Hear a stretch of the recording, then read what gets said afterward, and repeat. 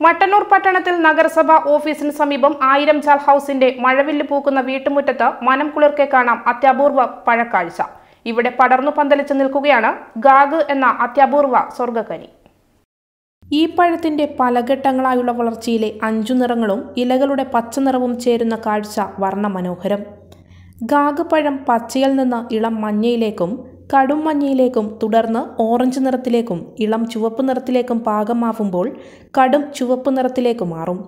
പൂർണ വളർച്ചയെത്തിയ ഗാഗ് പഴത്തിന് അറുന്നൂറ് ഗ്രാം മുതൽ ഒരു കിലോ വരെ തൂക്കമുണ്ടാകും. ഏറെ ഔഷധ ഗുണമുള്ള ഗാഗ് പഴത്തിന് കിലോ ആയിരത്തി ഇരുന്നൂറ് രൂപ വരെയാണ് വിപണി വില.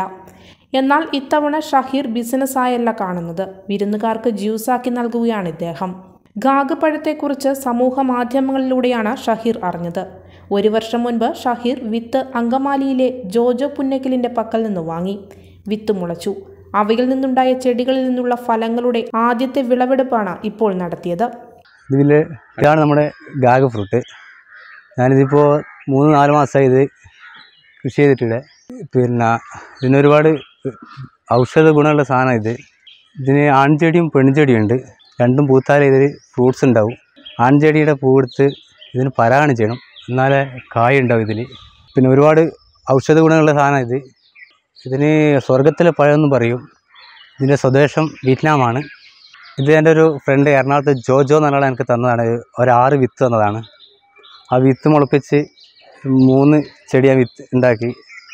അതിൽ ആൺചെടിയും പെൺചെടിയും എനിക്ക് കിട്ടി. ഇപ്പോൾ ഒരുപാട് കായ് ഇപ്പോൾ ഉണ്ടായി. പത്തറുപത് കായ് ഉണ്ട്. ഇപ്പോൾ ഒരുപാട് ആൾക്കാർ വരുന്നുണ്ട് ഇത് കാണാൻ വേണ്ടിയിട്ട്. ഗാഗ് ചെടിയായി വളർന്ന് നാലു മാസം പിന്നിടുമ്പോൾ കായ്ക്കും. ആറുമാസത്തിനകം ഫലങ്ങൾ മൂപ്പെത്തും.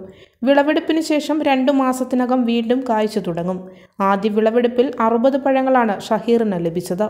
ചെറുപ്പത്തിലെ കാർഷിക രംഗത്ത് സജീവമായുള്ള ഷഹീർ എന്നും പുതിയ കാർഷികോൽപ്പന്നങ്ങൾ വിളയിച്ചെടുക്കാനാണ് ശ്രമിക്കാറ്. ഡ്രാഗൺ മാംഗോസ്റ്റിൻ റംബൂട്ടാൻ മധുരപ്പുളി മൊലാസപ്പോ എന്നീ പഴങ്ങളും ഇദ്ദേഹം കൃഷി ചെയ്യുന്നുണ്ട്.